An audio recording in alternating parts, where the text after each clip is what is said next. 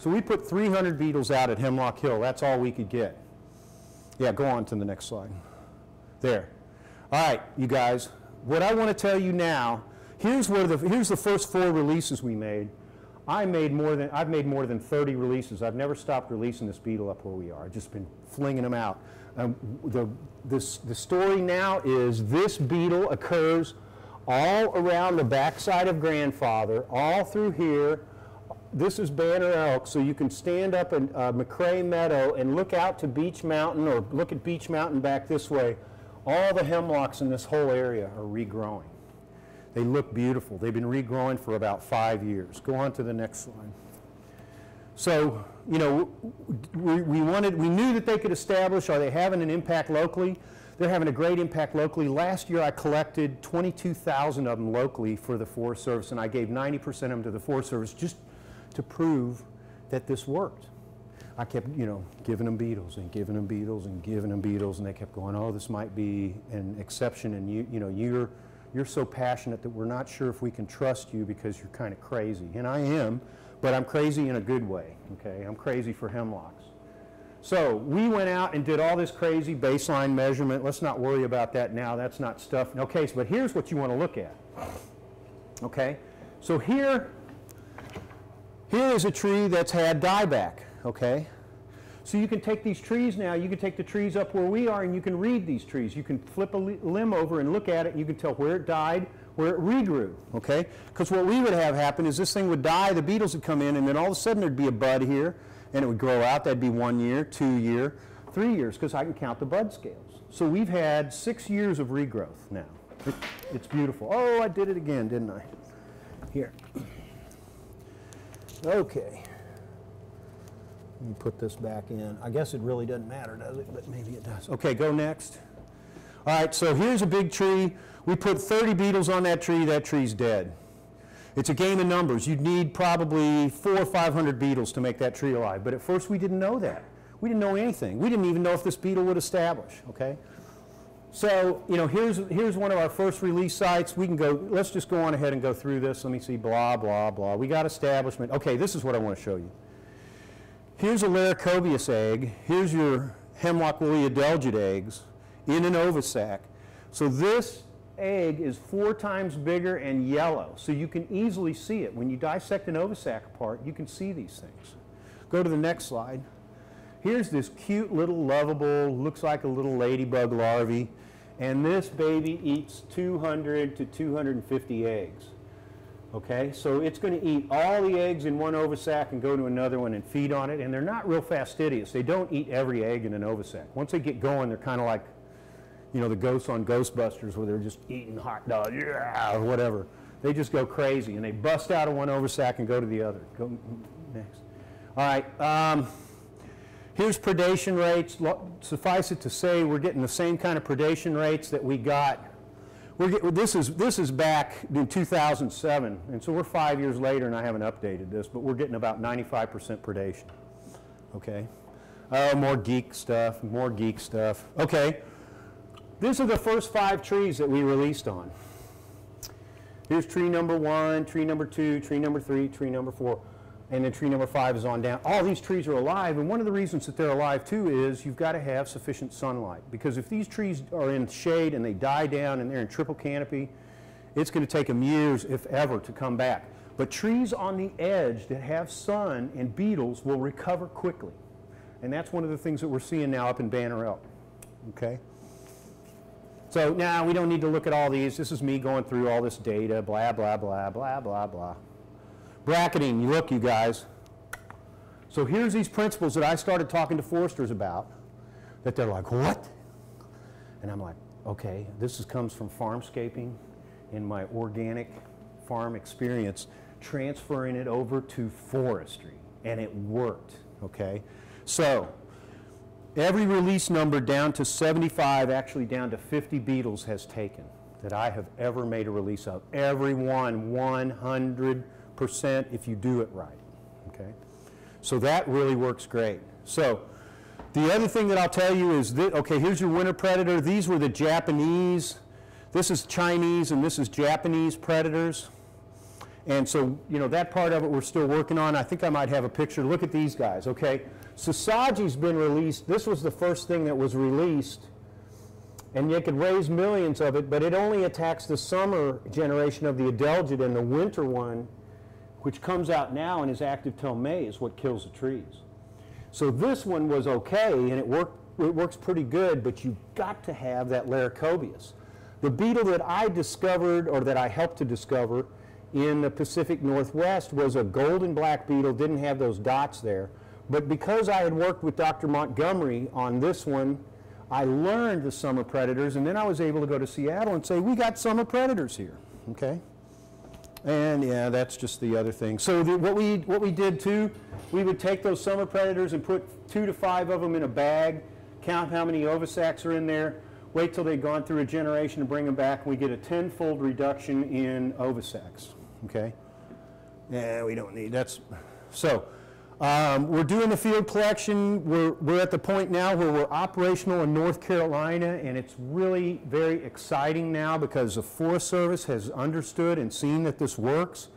And so they're, um, they're putting more and more resources our way to, to distribute this beetle. In fact, yesterday I released 2,000 of these beetles in New River Gorge. I drove eight hours yesterday. So, but so here's how I would do it. I would put them in these little cartons. Um, depending on, if they were going into a quarantine lab, I'd just leave them on food because they could do it that way. If they were going out into the field, I'd put them on Spanish moss so we didn't transport anything that was on those needles. And then put um, filter paper with water and also a little ladybug diet. And, and they, they don't die. I mean, you can leave them in there for almost a week. I think they end up getting depressed because they don't see sun, you know. And, but anyway, so we're able to collect thousands and thousands and thousands of these. Go on. So here's how I would ship them. I would end up going and getting cup of new, cup of noodles, and the flavor here is Laricobius flavor. I changed it to Laricobius flavor and put it back on there. And so then what we would do, and I'll tell you guys back, this is right after 9/11 uh, or you know, pretty soon afterwards. And if you ship stuff, people were really particular. So David is with me, and I said, we're going to go into FedEx, and I want you to keep your mouth shut and listen to what I say. So I go in. They say, is this a lot? Is there anything living in here? And I say, no, they're dead insect specimens. Okay, we'll ship them. And they asked me a bunch of other weird questions trying to catch me. And then we walked out. Dave went, oh my God, I never would have been able to mail those things. And I said, that's because for us to do some of the things that we've had to do, we have to bend the system slightly, right? So, you know, we made the releases. Um, at, you know, listen, we've got establishment, you guys, it's over, it's eight miles in every direction now. That's, you know, and here's, look, here, I was, I was this is what I was going to try to. Now I'm up to, uh, I did 27,500 beetles, and Pat would always go, we need 100,000, we need more than 100,000. So Pat, this year, I'm going to try. I don't know if I'll make it, but I'm, I, I, Teamwork. I, teamwork, exactly, right. We need to get these AS, these sustainable development students to help me collect this stuff. I- You spent, what, about half an hour teaching me how to do it? Yeah. Oh, yeah, I, I showed him and hit an umbrella, and he went up to Mountain Air, and he hit the spot where he put beetles out and found beetles right off the bat. And that makes perfect sense. Teach how to do it, Pat, man, by the end of the day, we had 50 beetles. You know, Boom. I found the first one of the day, you know, he showed me Right. to do it, but we just went from there. You know, Okay. We can do this. That's enough on this. Let's, anyway, so long story short, you guys, we really did, um, and based on the trees, we really did, you know, we, we, us little hillbillies, I didn't even know what a hemlock was 12 years ago. I knew it was a tree, and I knew that there was a poison hemlock. So the only other thing, if you want to go to Dr. McBug real quick, I'm just show people the resources for, I have a picture of every bug that we saw today. Some of them aren't great, but you know what I mean is if you need if you need a resource or you're having trouble going to sleep at night, go to this website. All right. So here's Farmscaping. Um, go to go to beneficials. Okay. So here's how I teach this stuff. I start with ladybugs because I want everybody to know ladybugs. If you scroll down in this, is there a way to scroll down? Yeah. Okay, keep going. That just shows how a lady, okay, here, keep, yeah, that's good right there. All right, so here's the first ladybug that we always find in our broccoli patches, and so I list it first, which is C7. It's always out there crawling on the dirt clods, and it's headed for these little green plants, so I really like it. If you guys look here, here's C7 eggs with my dirty fingernail. Here's a, a larva turning into a pupa, so you see what the larvae are. And here's a C7 pupa, which a lot of people squash, right? Because they think it's, you know, when I go to, to uh, uh, some of these seminars or Southern SAWG or CFSA, people always say, oh, I've been squashing those. I thought they, you know, and I'm like, no, no, no. Come down here a little further. The other thing that you can do, you guys, you, uh, we don't need to do this now, but you can click on these photos and they enlarge. So one of the big things that we always like with C7 is yarrow because it has a lot of, oh, cool. Yeah, so there's a pretty good picture of a C7. So the, there's four main species of ladybugs. It's getting late. How much time have we got? We got 20 minutes. 20 minutes. Okay. I don't need I don't need to go through all these, but if you I mean, what I want to tell you guys is here's a resource. It's a little homespun and blocky. I need to get in and update it a little bit, but everything we saw out there today is on this, and it has all the little quirks that Pat and I uh, come back out again. Or go to pests real quick. Just go to pests. Bam. And more and more of these are going to also be, new pictures are going to be showing up on our website. Yeah, and I need to get You need to link to our site too. Yeah, I'm going to do that.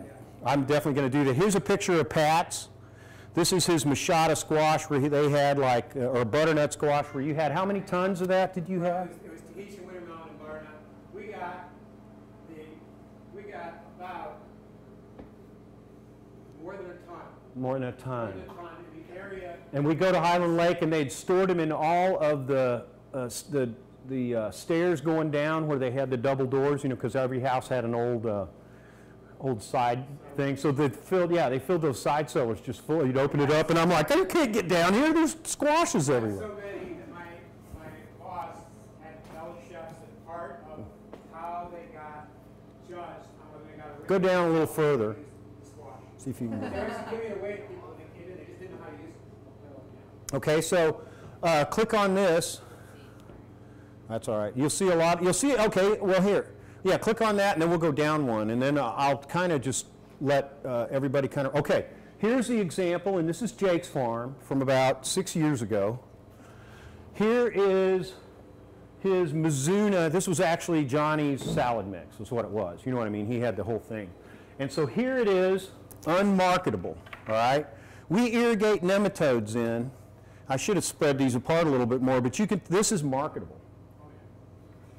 So, you know, what started happening right away, we got rid of onion maggot, we got rid of flea beetles, we got rid of Mexican bean beetles, and we controlled all of his crucifer pests in one.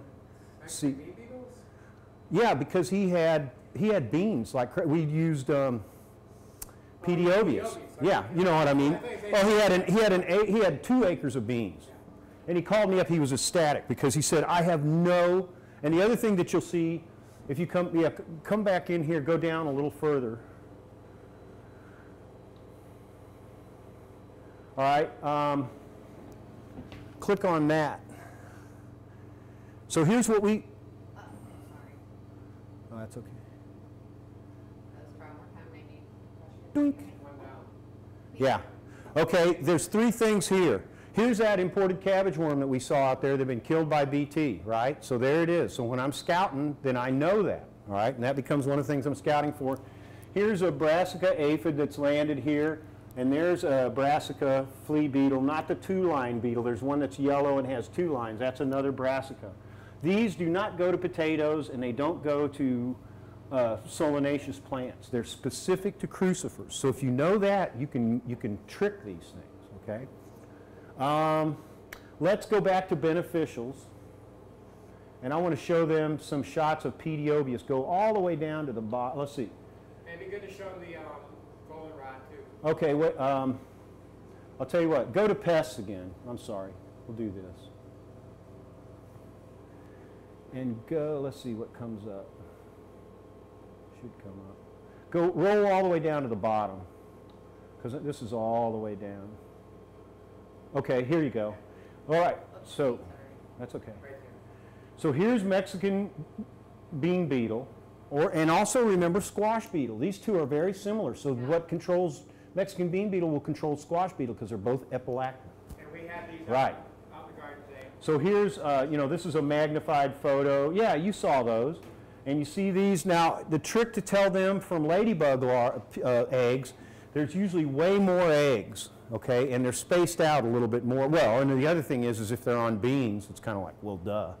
You know, pretty much they're, they're, uh, they're Mexican bean bean. Even though it's not, Look at this. because it might be lady beetle eggs, and I know I can control them with pediobius, I don't squish anything that looks like ladybug eggs. Yeah. I have to be certain, you know, that it's, it's the bean beetle. larvae. Yeah, go over to the right a little. Yeah, that, you're going to have to go right. Yeah, I will. And I don't know if you saw on our website, Ah, advertising this sweet. class, we had a picture of these guys and bracketing on the same, on the same leaf, there were eggs and a lady, a ladybug larva eating the eggs. So both of, both of these are pu, uh, both of these are parasitized. This one is just now starting to show it where it's puffed up. So if I looked at that, I would know, as a scout, I know that that's parasitized. Kind of like how I look at imported, I can just tell. Parasitized By wasps. By the wasp, by pediobius, right. And so what happens then, when they, what happens is this one in about two or three days is going to look like this one.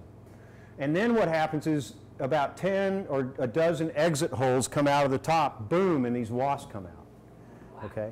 So if you have umbellifera, if you have really fine nectar, floral nectaries, these things will just reproduce like crazy. What happens is first they hit the big larvae, then they hit the medium larvae, and then pretty soon they're hitting the little tiny larvae, and then you have no larvae. And they actually take a few pupa out, too. Okay. very beginning, the beginning of the pupation. Right, when they get in there, they can hit them. Okay.